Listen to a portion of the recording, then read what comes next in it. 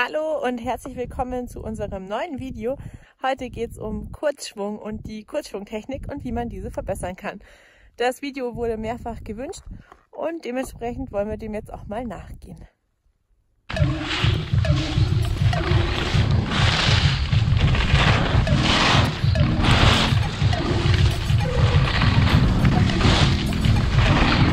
Jetzt habt ihr gerade schon mal ein paar wunderschöne Kurzschwünge gesehen. Doch die Frage ist ja erstmal, wie taste ich mich da ran? Und ich würde erstmal nicht mit Kurzschwüngen anfangen, sondern eben mit so längeren Radien und erstmal den Ski kennenlernen. Also wie ihr sehen könnt, fahre ich ja hier einfach auf der Kante und ähm, nehme einfach den kompletten Skiradius mit. Das ist natürlich noch kein Kurzschwung, sondern ein Carving-Schwung jetzt. Ähm, allerdings sollte man die langen Radien schon beherrschen und eben auch so ein bisschen Gefühl für den Ski haben, also dieses auf der Kante fahren beherrschen und sich dann erst an den Kurzschwung ranwagen. Ansonsten wird man relativ frustriert sein.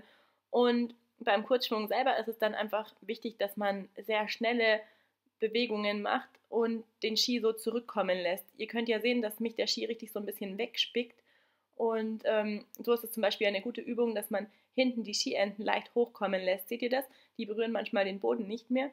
Dadurch habt ihr dann eine recht gute Lage und ähm, lasst euch auch so richtig schön rausspicken aus dem Schnee. Also diese Hochtiefbewegung ist unglaublich wichtig und dass es euch eben so zurückspickt. Aber jetzt würde ich sagen, lasst uns doch erstmal Schritt für Schritt anfangen. Wie taste ich mich an den Kurzschwung, wenn ich jetzt die langen Radien schon beherrsche und eventuell auch schon so leichtes Karben im flachen Gelände? Wie taste ich mich dann an den Kurzschwung ran? Also ich würde erstmal in einem eher flacheren Gelände, wie ihr ja sehen könnt, wo ich fahre, also im grünen Anzug, ähm, da ist es noch nicht so steil, da ist es vielleicht nur so, das ist eigentlich so ein Anfängerhügel sogar, aber das reicht schon aus. Dann habt ihr nicht diese Panik, dass ihr nicht genug stoppen könnt, weil das ist beim Kurzschwung so ein bisschen die Sache. Bei den langen Radien habt ihr ja quasi diese ewige Querung, in der ihr dann auch wieder Geschwindigkeit verliert und dann macht ihr den Umsetzen, also den Kurvenwechsel und dann habt ihr wieder eine Querung, in der ihr wieder ein bisschen nach oben steuern könnt, den Hang und dadurch wieder Geschwindigkeit verliert. Beim Kurzschwung habt ihr das ja eben nicht. Da geht es wirklich zack, zack, zack, zack. Und wenn ihr da nicht genug kantet, dann werdet ihr schneller und schneller und dann verliert ihr dann die Kontrolle und habt natürlich Angst und das klappt nicht. Deswegen erstmal im nicht zu steilen Gelände anfangen und eben wirklich versuchen, zack, zack, umsetzen, umsetzen, umsetzen, diesen Schwung mitnehmen, den Druck. Also ihr drückt euch richtig rein, die Kante macht wie so ein Hockeystopp beim Schlittschuhfahren. Also wer von euch Schlittschuh fahren kann, ähm, Hockeystopp beim Schlittschuhlaufen fühlt sich so ähnlich an. Also ihr haut die Kante rein und nehmt dann diesen Druck, den euch der Ski gibt. Ihr fühlt es richtig, jetzt ist mehr Druck drauf. Ihr seid in den Knien und dann lasst ihr euch so rausspicken, geht hoch und lasst euch in die nächste Kurve reinspicken. Und ähm, übt das aber trotzdem im Flacheren. Da habt ihr zwar nicht ganz so viel Druck, aber auch nicht diese Panik, dass ihr plötzlich immer schneller werdet, weil ihr müsst da wirklich richtig die Kante reinhauen, dass ihr dann auch bremst beim Kurzschwung der Sinn, wenn man das richtig beherrscht, ist dann, dass man immer gleich schnell bleibt und nicht oben langsam anfängt und unten und auf einmal in den langen Radius wechseln muss, sondern man soll konstant immer mit der gleichen Geschwindigkeit zack, zack, zack, zack und erst dann darf man sich so schimpfen, dass man wirklich Kurzschwünge fahren kann. Genau, jetzt fangt ihr erstmal in diesem flacheren Terrain an und tastet euch da eben ran mit diesem zack, zack, zack. Ähm, wenn es noch nicht funktioniert, dann probiert einfach so richtig schön parallel zu bremsen ihr fahrt Schuss und dann zack, einmal parallel bremsen. Und wieder dasselbe in grün, Schuss, andere Seite, zack, parallel bremsen. Und erst wenn ihr das dann richtig beherrscht, dann wirklich zack, zack, zack, versuchen das aneinander zu reihen. Versucht auch unbedingt, dass die Knie parallel bleiben, also nicht irgendwie so X-Beine machen, das ist oft so der Versuch. Und ähm, dass ihr eine schöne Lage habt, so wie bei den längeren Radien. Der Arsch geht zur Piste, der Oberkörper geht raus und ähm, so könnt ihr dann richtig schön Druck auf die Kante aufbauen und natürlich auf Kant. Ähm, reitet das eben wie gesagt aneinander und schaut mal, ob das schon funktioniert. Und ganz wichtig dabei ist dann, macht vielleicht eine Aufnahme oder lasst jemanden schauen, wie das ausschaut, dass ihr den Oberkörper nicht mitnimmt. Also der Oberkörper, der bleibt immer gerade. Das passiert wirklich nur in den Beinen, was dann passiert. Oberkörper gerade, die Beine zack, zack, zack, zack, die arbeiten. Und der Oberkörper hat eben vorne zu bleiben. Also auf keinen Fall so zack, zack, zack dann seid ihr auch viel zu langsam, dann wird es nicht klappen, sondern Oberkörper immer geradeaus ins Tal und nur die Beine arbeiten unten und lassen den Ski quasi auf die Kanten. Ähm, dazu zeigen wir jetzt euch gleich noch eine Übung, wie ihr dann wirklich sicherstellt, dass der Oberkörper auch wirklich gerade bleibt. Und ähm, wir wollen dann im Verlauf auch noch mehrere Übungen abfilmen. Aber jetzt erstmal wollten wir so eine grobe Einführung machen, weil das eben schon öfter jetzt gewünscht worden ist. Und wir dachten, dann wird es Zeit, dass wir das jetzt auch wirklich mal machen. Und die Übungen, die man dann ansonsten noch machen kann, die folgen dann in den nächsten Videos. Aber eine wichtige Übung, die haben wir für euch schon abgefilmt und die möchte ich euch jetzt auch gleich noch zeigen.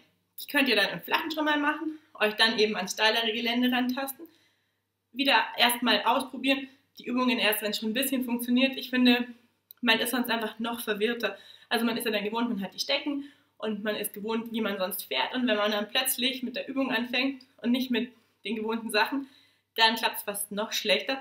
Deswegen erstmal ein bisschen rantasten und schauen, wie es läuft und dann mit den Übungen versuchen, das ähm, auszubessern, was eben noch nicht so funktioniert.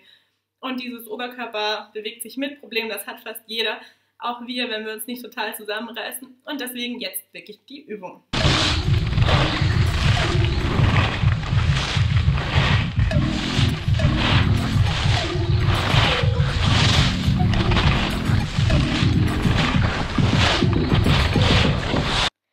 Habt ihr die Übung gerade schon mal in normaler Geschwindigkeit gesehen.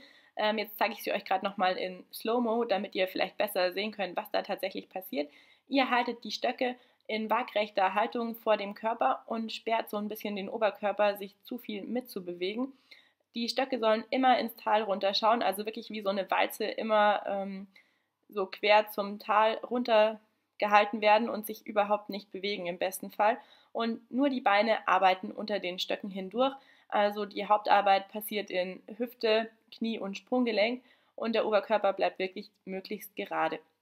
Macht diese Übung ruhig öfter, ähm, das hilft total und nur wenn es gut funktioniert, dann funktionieren die Kurzschwünge auch so richtig gut. Eine weitere sehr ähnliche Übung, die ihr ja auch schon gesehen habt, zeige ich euch jetzt auch nochmal in Slow-Mo. Da haltet ihr die Arme einfach ins Tal runter, aber ohne dass ihr den Stock in der Hand habt und versucht natürlich auch, dass Oberkörper stabil bleibt und auch die Hände einfach stabil ins Tal runterschauen, ohne rumzuzappeln.